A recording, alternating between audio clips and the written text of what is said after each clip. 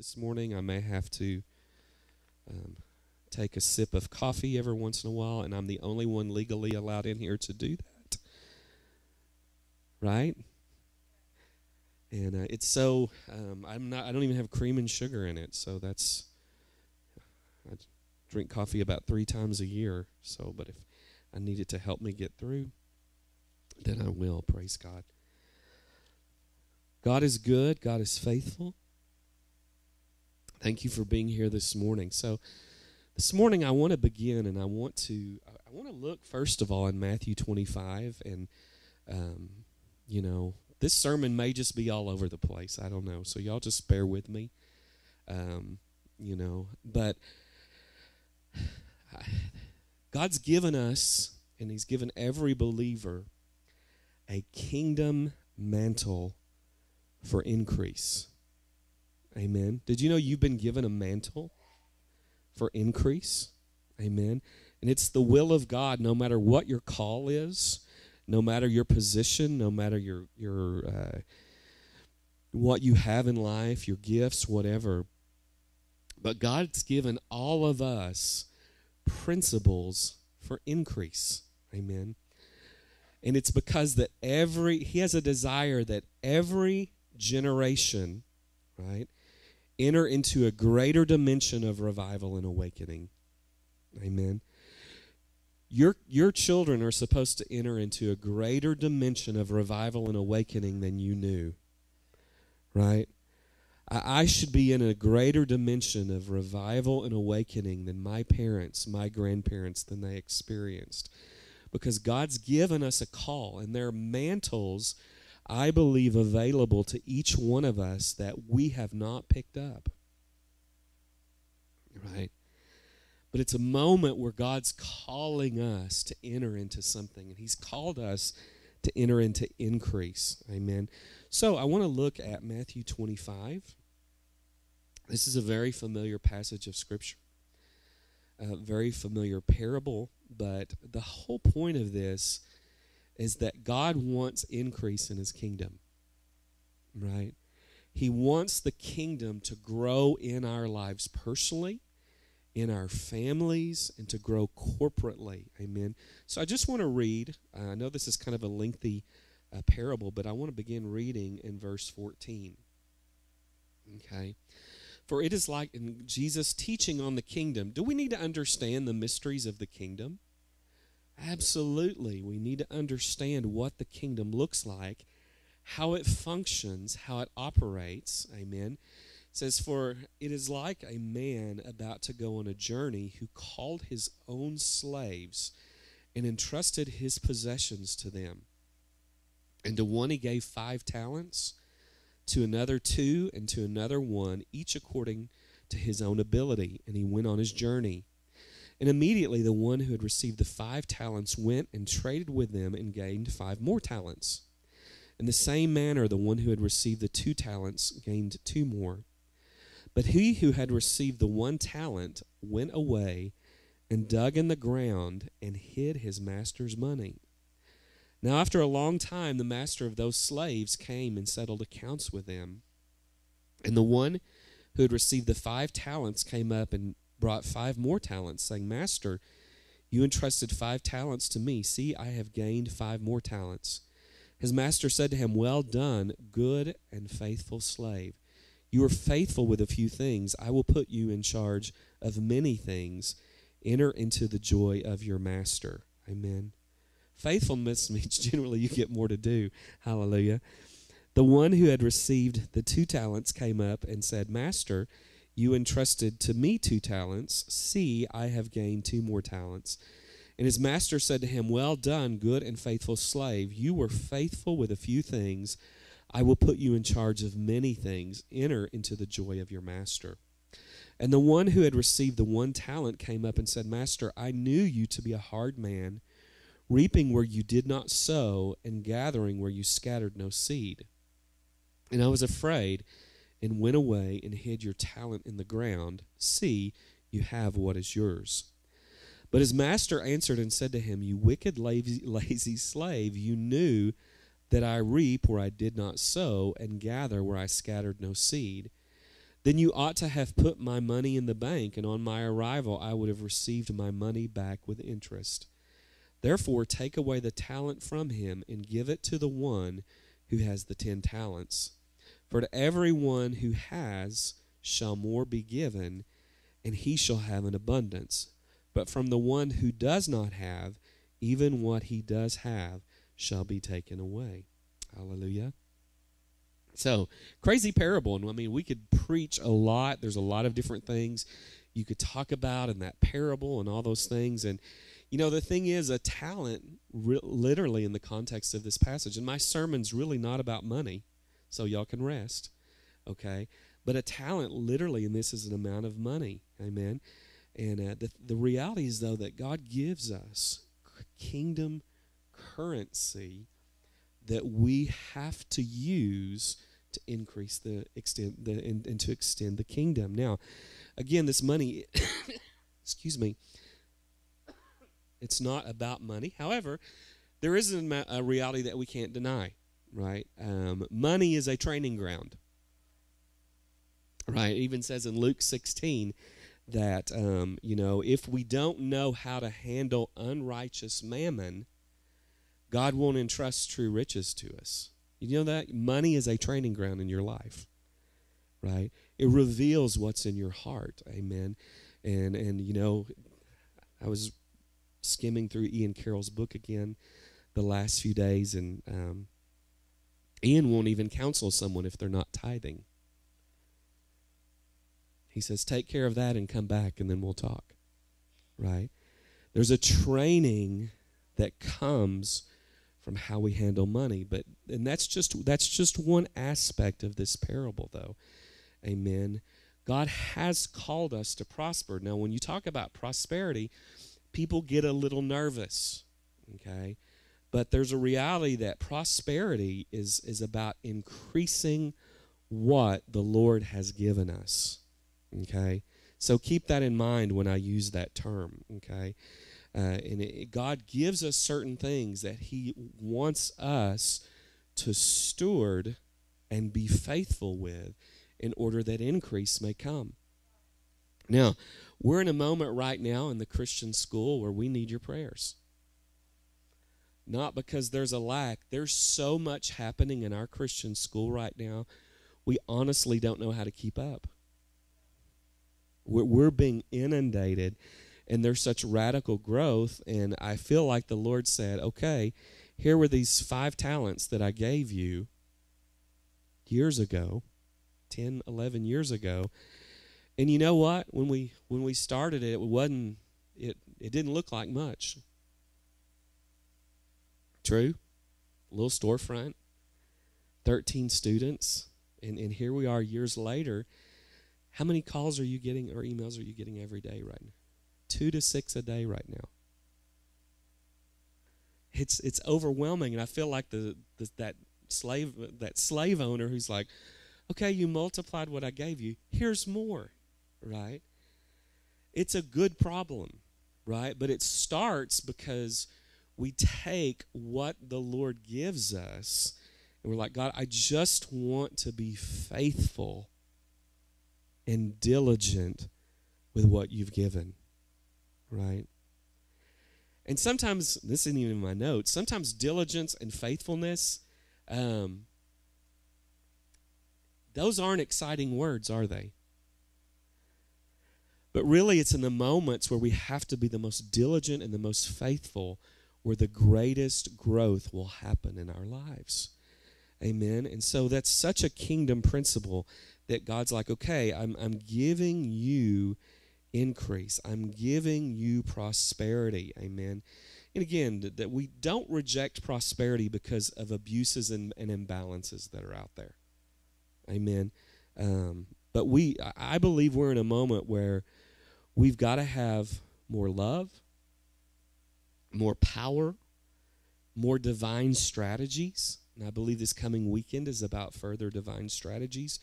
We've got to have more success in relationships, whether it's family or kingdom relationships. We've got to have more finances. We've got to have more physical health. Amen.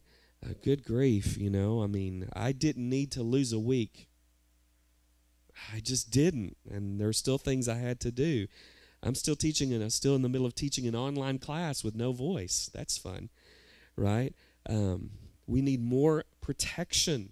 Amen. We need more anointing if we're to fulfill the Great Commission and disciple nations. Amen. Do you know if you're going to disciple nations, and that's what God's called us to do, if the church is going to disciple nations, we need great prosperity. Money and beyond money, okay? And God just wants to give increase. Amen. Because really, God never intended the church to live in any season without the outpouring of the Holy Spirit.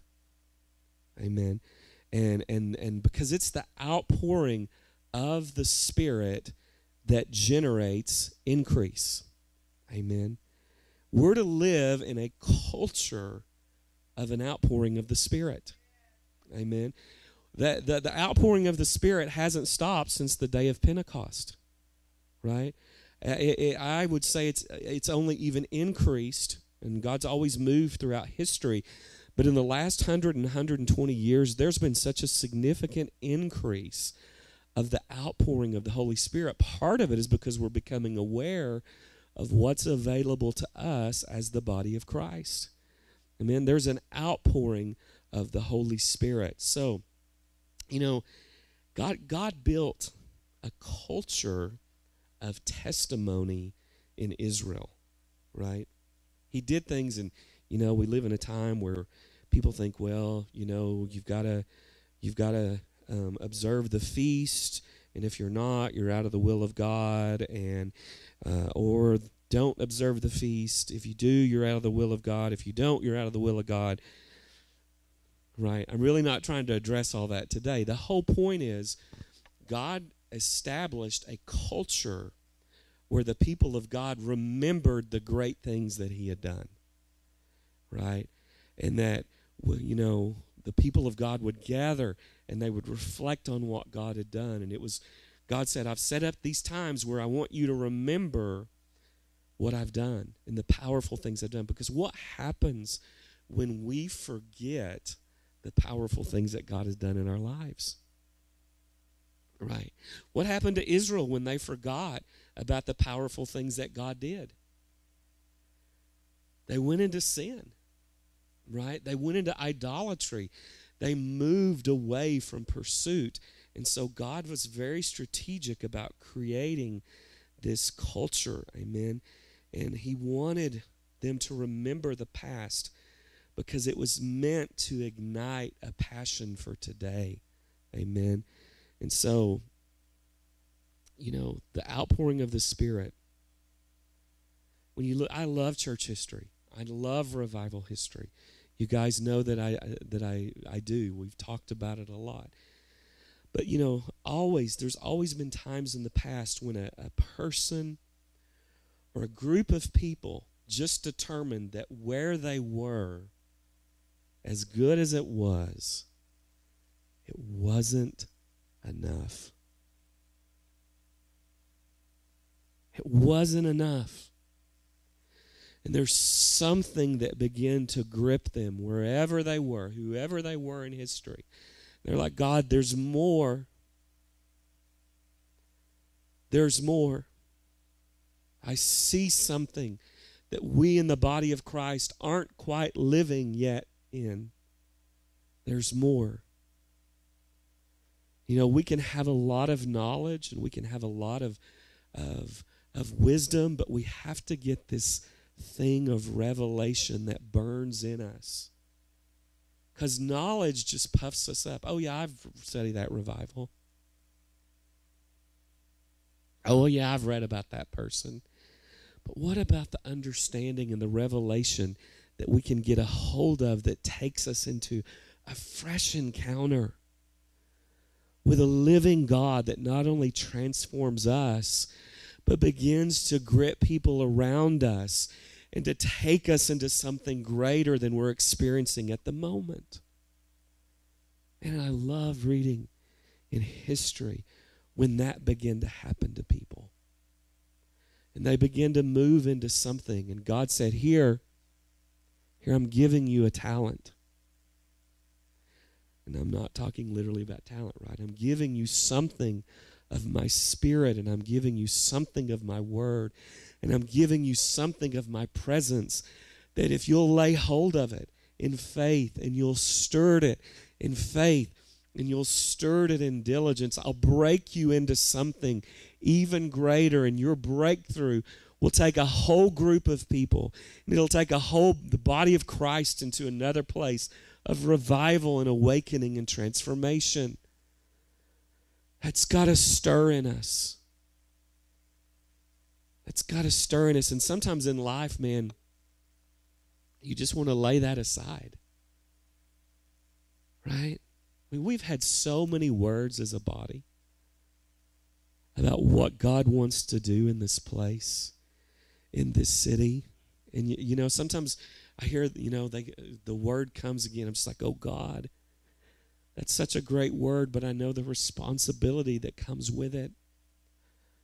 I know the call to things like prayer and fasting that we're not yet in. We're not yet in, but we have to lay a hold of to break through into something else and I read the accounts, you know, about the people because it stirs something within me.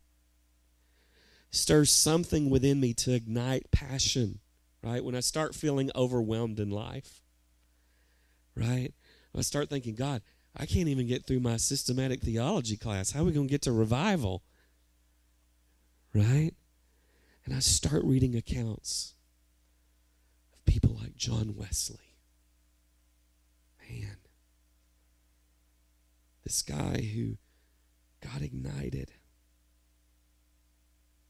He saw a group of Moravians on a ship that was about to go down, and they were so worshiping God. He's like, they, they have something that I don't have. They believe that's when Wesley got genuinely born again. He was already a minister.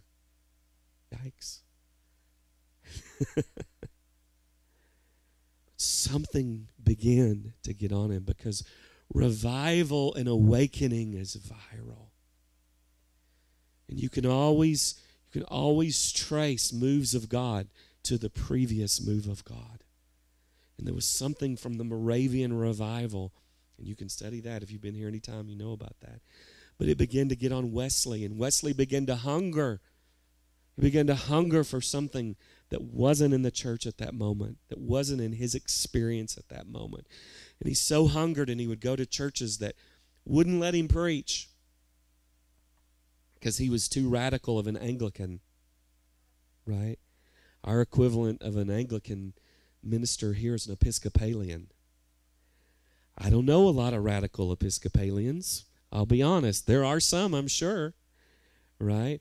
But there was something of Wesley that began to burn. And because they wouldn't let him preach in the churches, he'd go out in the fields and he'd preach. And, you know, we love the story around here where Wesley would go out and there was something supernatural because he'd go out and he'd preach to thousands and he didn't need a mic. There was something supernatural that happened. And he'd stand in those fields and he'd preach and he'd, he's the guy that would tell people, don't get in the trees because he knew the anointing was going to come sweeping in those meetings. And when it did, people would fall out of the trees because, you know, anybody here ever get knocked out in the spirit? What happens when that type of anointing comes when you're out in the pasture in a tree? They're falling out of the trees because the power of God. And he was saying, Don't, don't get in the trees. Right? And there was something of the presence on Wesley and he, he started this movement. Now, it's hard to keep movements going sometimes, and his movement is in great turmoil today because of some sinful things that are going on. Right now, I'm not bad mouthing Methodists. Man, there's some powerful, powerful Methodists today. But that movement is at a crossroads right now. Right? But Wesley burned He burned for something. And he's the guy that, whether it's true or not, he's given credit for the quote that, um, what is it? What one generation tolerates will become the normal for the next generation. Right? You know, Jamie and I talk about this before. You know, man, we we've lived almost legalistic in some ways. Some people would say some of the things that we've done were really legalistic, you know. But what happens when we begin to relax those things? What does it produce in next generations? You know, it produces a lot of sin.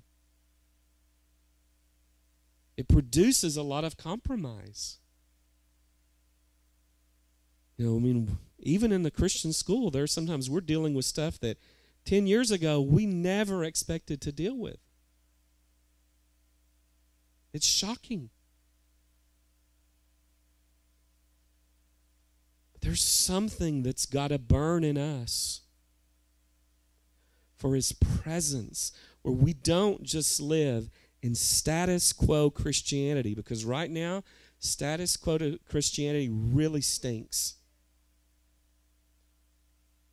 Now, at the same time, there's incredible, incredible things happening all over the world.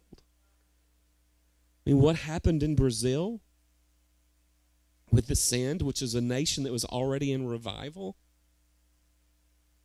Right? I mean, what ha- what's been happening in Brazil for the last 10, 20 years is significant. When the president, and I know there are mixed reports, but supposedly he was already born again, but basically said at the Send, I'm a born again Christian. And it ignited something in Brazil, right? stuff still happening with people like Kanye and some of these guys. There's this, there's this burning, burning revival and awakening that's coming forth in the nations. Man, we have to have it here. It has to burn in us here. It has to burn in us. It has to ignite us. I love studying people like Mariah Woodworth Etter. Yeah. A woman preacher, especially in the 1800s. That's radical. And she was so radical that they sent her to the rough places because she's the one who could break through. Stuff would happen in her meetings. People would go into trances and see visions of heaven and hell. And there's another message that people don't really like right now because we're conforming God to our image. People who are untaught and didn't know about these things, they're seeing heaven and hell and knowing they have a choice. They'd get saved in those encounters because, yeah, hello. And there were reports of people up to a hundred miles away from her meetings falling out under the power. It cost her something. Her husband left her. Right? But she burned for something. And, and even what I love about her, even in the course of her life, was that she made a transition and was baptized in the Spirit. Right? Don't you love that? That people stay hungry enough when God starts doing something new? We don't understand what a big deal it was when people started getting baptized in the Holy Spirit. And she made a transition in her ministry because she hungered for more. And she broke into something because of that hunger. And she broke into something even though society said, You can't do this. And she broke into something, and there was incredible fruit that came out of her life because she was hungry for more. Man, John G. Lake. It's funny because Will's already had gold dust all over his hands, and he didn't even know I was going to talk about John G. Lake.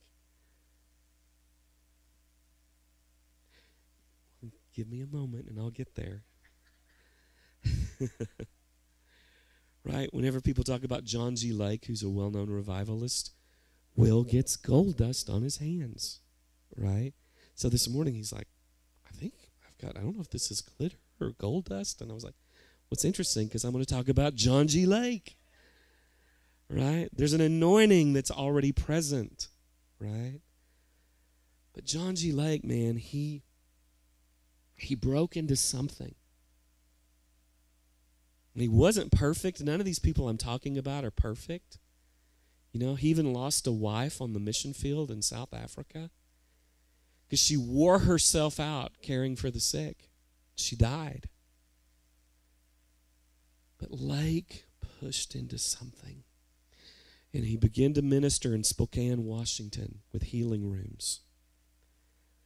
And in those rooms, impacted Spokane so much, and so many people got healed that at that time, Spokane was the healthiest city in the United States. What happens when we steward what God has given to the point that it begins to change the cultural and regional dynamic of where we are? When suddenly something comes on a people because they begin to hunger for something.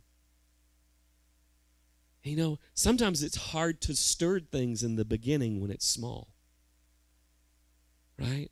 You're just believing for a miracle. You haven't seen anything. Right? And then suddenly people start getting healed. Right? And they start calling you that crazy church. but you know what happens? Is people start coming when they're sick. Or they start coming by and they start calling you because they're like, you know, my church don't believe in this. And I really don't want you to know that I'm here, them to know that I'm here. But will you pray for me? Because there's something that starts changing because as a people, you start laying hold of something. Amen. You start laying hold of something of His presence because God's given you a talent. It's like, what are you going to do with what I'm giving you?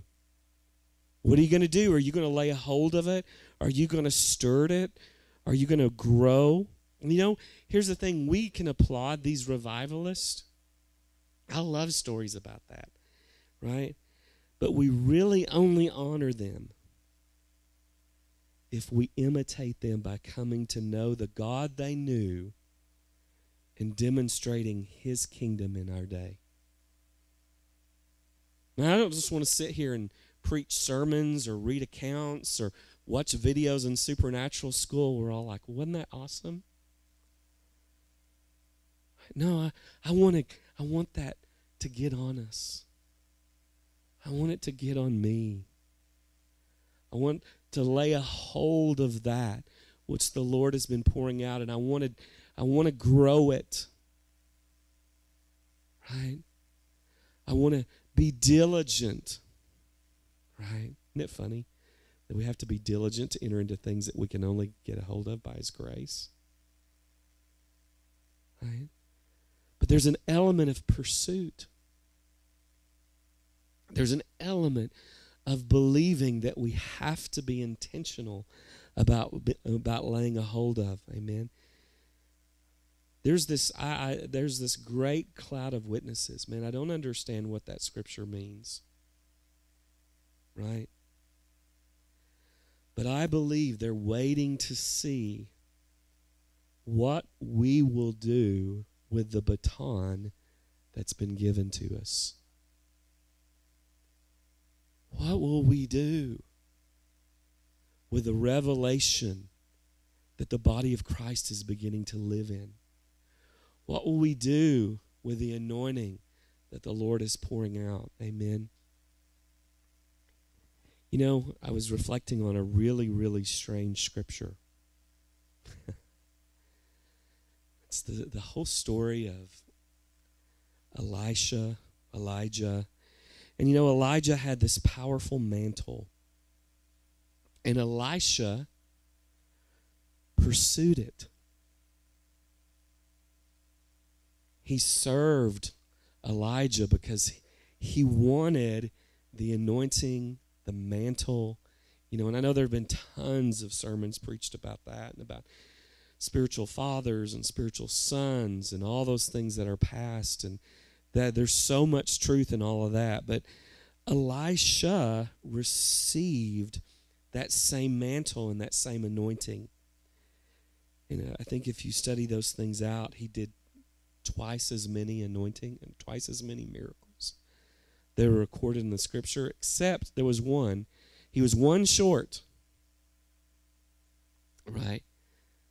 Then there came a moment where, you know, he's dead and buried. Here's his bones in this hole in the ground. And they're burying a guy, performing a funeral. And there's some raiders coming right? And so they're like, oh my gosh, we got to finish this funeral and get out of here. So they toss this guy's body in this grave, and he hits Elisha's bones and comes back to life. Is that just like the weirdest story? You know, can you imagine what kind of funeral that was? Oh, we got to get out of here. They're coming. They're going to steal stuff from us. Just toss Billy in there. And Billy pops back up. Billy's alive, right? Such a weird story, you know? And so, exactly multi, double miracles of what Elijah had done. God's faithful, right? But the greater reality that's really convicting is why had no one picked up the mantle of Elisha? Elisha went after Elijah's mantle. He said, Man of God, I'm serving you. I'm serving you. And he served him and he cared for him and he, he pursued what God was doing. He wasn't one of these people who said, I need a spiritual father, so you'll just promote my ministry. If someone doesn't know your name, they're not your spiritual father. I don't care how many podcasts you've listened to. Well, come on.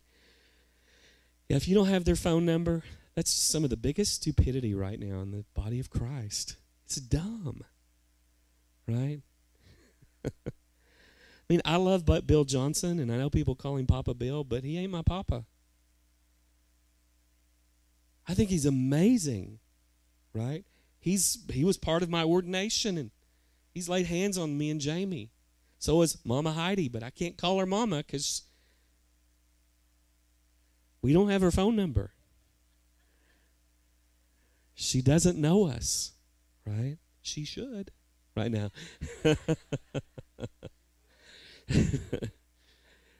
but but there's this thing of this this mantle of Elisha that was waiting for someone to pick it up. And I think, even as incredible as all these things that are happening in the earth right now, this call for revival and awakening, right? Who's going to pick up? Who's going to pick up this mantle? You're going to pick it up? She says, Me. Right? Is there a generation that'll pick this up? Maybe put their social media down and go put get on their face in the presence of God. A generation that'll burn for his presence more than followers and likes.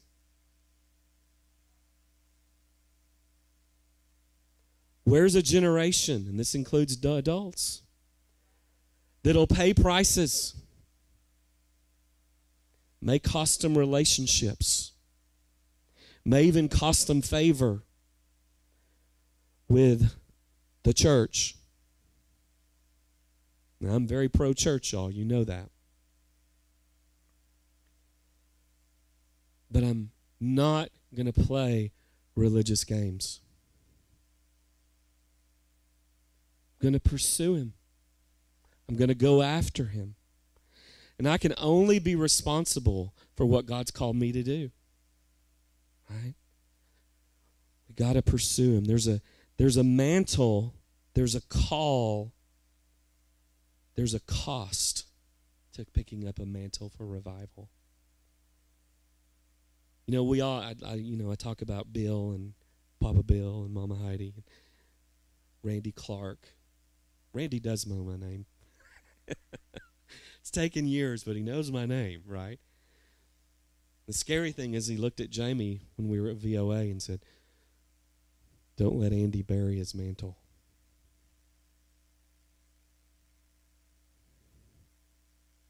That's a scary thought, and it gets scarier because we can have all these prophetic words. We can have all these things that have happened in the past. Oh, remember when God moved in the school and we couldn't have chapel in the morning? We had to do it in the afternoon. Man, those are great stories, and I love them. And they were a, a foretaste, and God just giving us a, a glimpse of something that He has said. There's more if you'll if you'll go after it we can have a collection of words from great speakers who've been here. Great words from people like Charlie Shamp and Ryan Lestrange and Abner Suarez and amazing people like that. But if we don't become those people who will take hold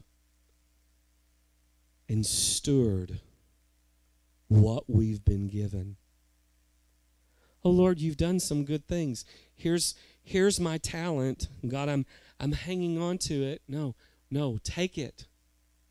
Multiply it. Grow it. Right? Because there's so much more he wants to do.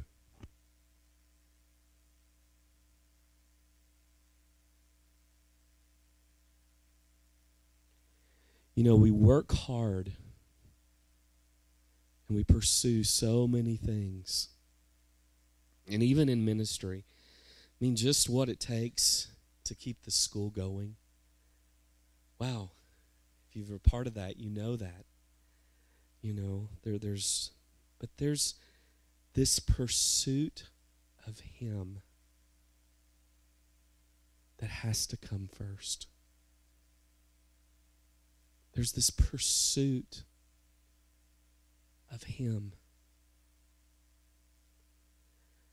and a willingness to lay aside everything else go after Him. And I think we're good at pursuit. But I think there's more. I think there's more. I think we're at a moment where we have to determine God, are we going to live in what we know and what we've experienced, which is really great? Or are we going to push? I don't know any other way to say it.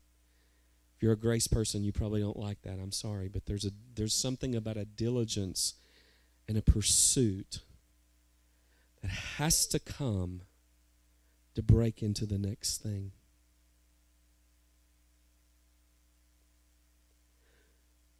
Who'll pick up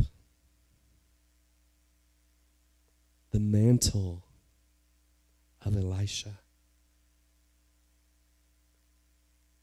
Who'll pick up that mantle for this city? for this region, for this state, for this generation. And who will burn for him? Who'll count costs. Say, God, we have to have what you've promised. Even if, and I know the kingdom's bigger than us, y'all. Don't, you know, even if we're the only ones. Now, there are others, right? Who'll pick up that mantle? Who'll pick up that call? Who'll pick up that that thing that keeps waiting for night and day worship and prayer? Oh my gosh, and we've tried to start that here in the past with disastrous consequences. Almost destroyed us as a church. Because it's something that duh, who does the enemy want day and night worship and prayer? Not at all. Who'll pick up that anointing for the miraculous? Even when it costs. Even when you see people die from the very things that you're believing to see put down by the Lord. Who'll pick up that mantle?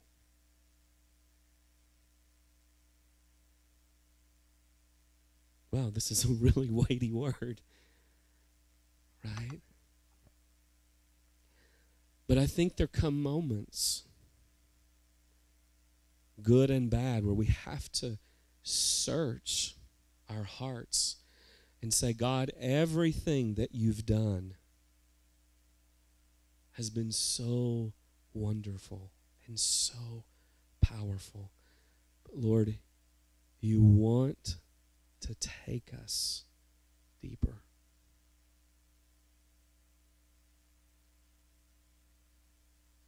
We've got to be good stewards with what He's given us. Because the kingdom was meant for increase. We're in a moment we have to go further. Father, today, we just yield to you, Lord. Lord, we live in such a culture of convenience. But Lord, sometimes you put a demand on people that is inconvenient.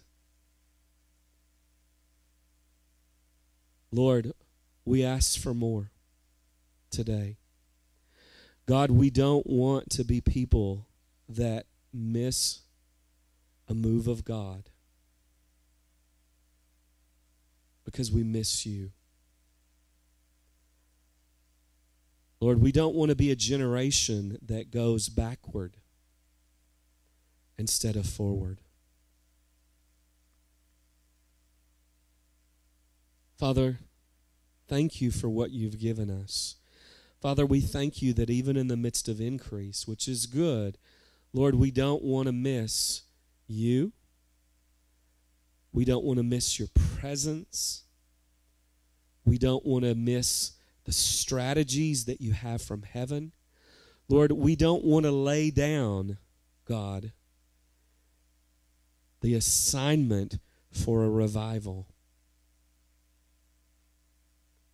Father, there is a regional revival that you've promised us for well over a decade, and that you were wanting to give it.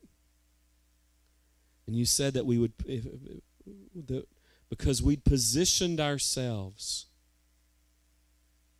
for awakening, God, that you would give it. And so, Lord, I thank you that you're reminding us of that today. That there's a call on this body as a house of revival and awakening, as a house of glory, as a house of deliverance.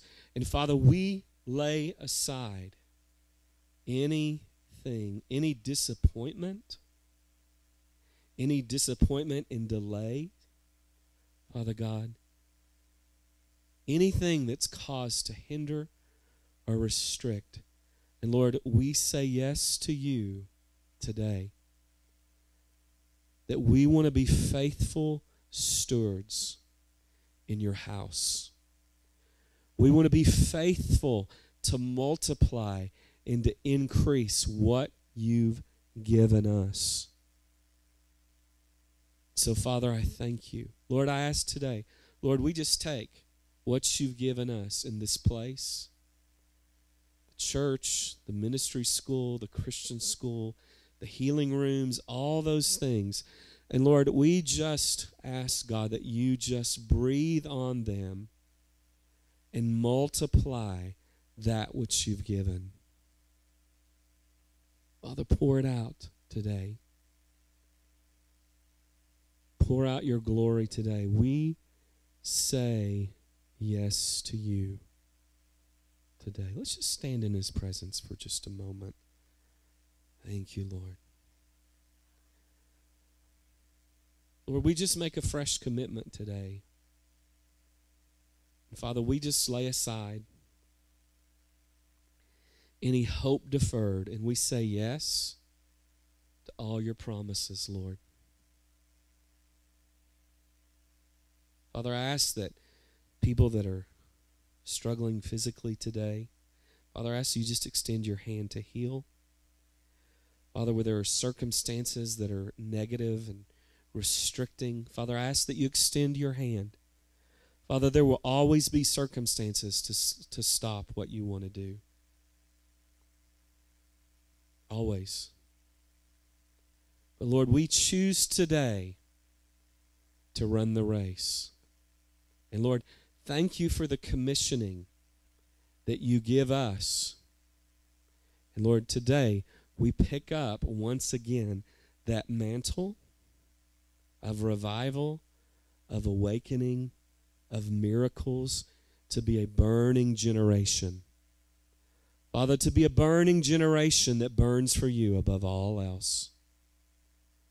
And we honor you today, God. Thank you, Lord. Hallelujah. Amen. Amen.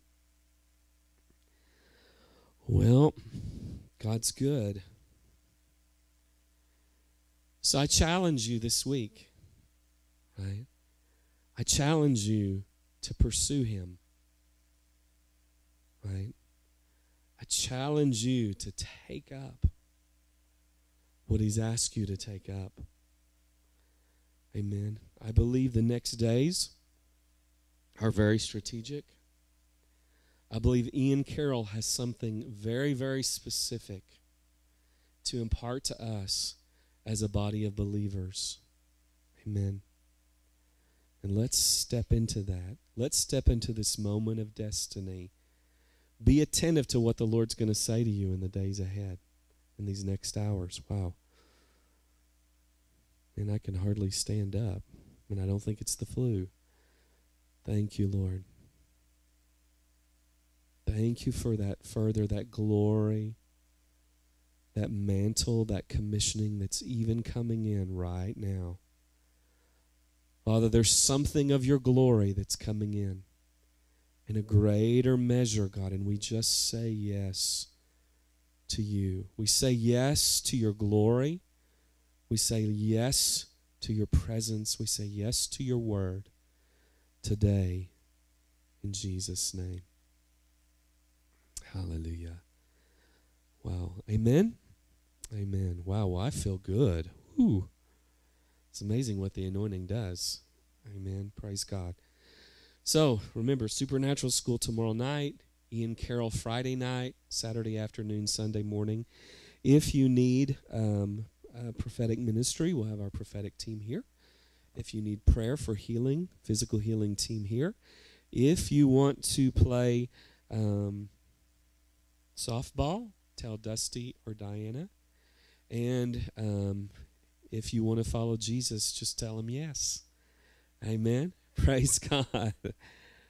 Well, have a great day. Be blessed. Take care of yourself. And amen. Have a great day.